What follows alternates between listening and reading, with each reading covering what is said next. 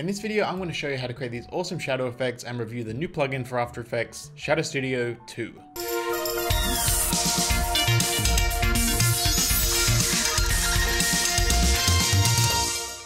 This video is not sponsored, it's not an ad. I want to start sharing more tools that I find really useful and that you'll likely find useful too.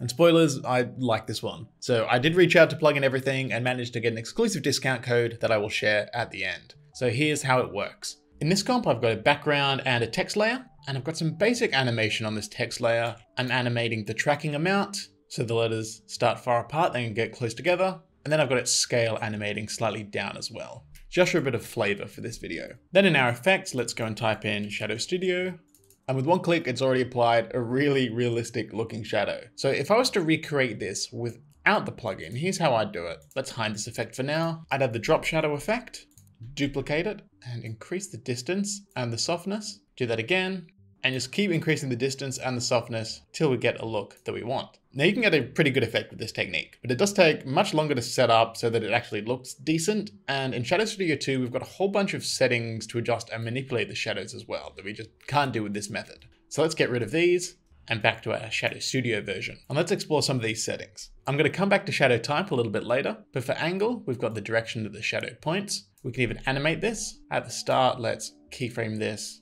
and put its value at 90. And then at the end of the animation, let's put that at 160. So now the angle changes throughout the animation. Now this is already looking so much more exciting than just the text is on its own. I've had tons of client projects where there was essentially no budget, so we had to use a lot of text on screen. And adding shadows like this is definitely something I would add to increase the production value and make the animation look a lot more expensive than it actually was. Now over here, we've got our shadow distance as well, which of course increases how far the shadow goes away from our source. We can increase the softness as well to make it more softer or decrease it to make it look sharper. And as we start to get really low, we can see how this effect is working. It's got a whole bunch of duplicates of our layer sort of stacked underneath it. And then we've got our color. Now, I'd probably recommend you change this from black to something that's a very dark version of your background. So I'm gonna eyedrop here and then choose something that's almost black. Maybe push it a bit more blue here. So it's just very slightly tinted and a bit of a cooler shadow. And that's just going to add a slightly bit more realism to the lighting because shadows are rarely 100% black. And if you want a cooler shadow, you can you know, move this up to red and you get a slightly different look. And you could also try it not being that dark and maybe choosing a real contrasting color like this red. And you get some really cool effects by having a really saturated shadow.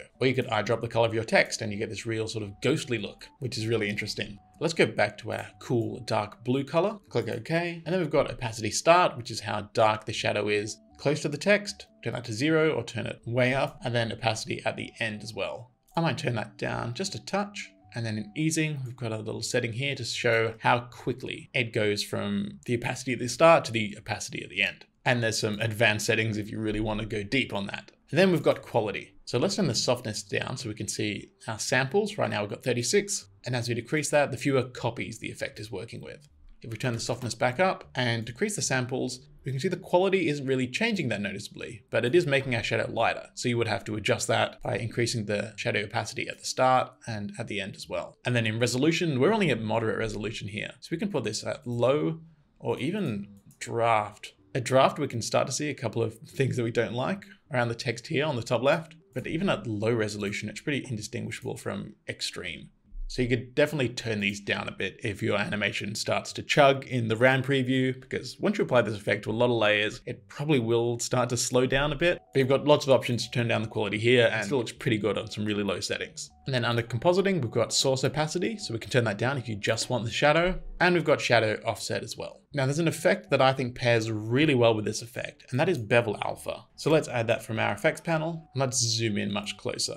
So here it is without, and here it is with. So Bevel Alpha can look really cheesy if you don't use its settings subtly. It can look a lot like Windows 98 word art, but if you turn the edge thickness down really low, smaller than two, let's go to one, what you get is this tiny little highlight on the top left of your layer. And you can move the direction wherever you want as well, but we just get a one pixel thickness of a little highlight as the light's catching it. And that just adds a bit of separation for the background and makes it look a tiny bit more 3D. Let's put that above our Shadow Studio layer. It is really subtle, but I do think it helps it stand out. Now back to shadow type up here. This is the normal shadow type, we also have inner, which puts the shadow inside. Let's turn our distance way down on here. Maybe our softness too. And this is really cool for a cutout effect. And then we also have radial shadow as well, which is similar to the normal effect, except we have this center point here and our shadow is going to face away from this point. So if we put that in the middle of our layer, the shadow is going to come outwards. So if you put that below your layer in the composition, you can get some really cool lighting effects. Let's go back to normal. And let's say we want to apply this shadow effect to some more layers. I want to turn on these square layers that I've got hidden and let's try to apply it to these.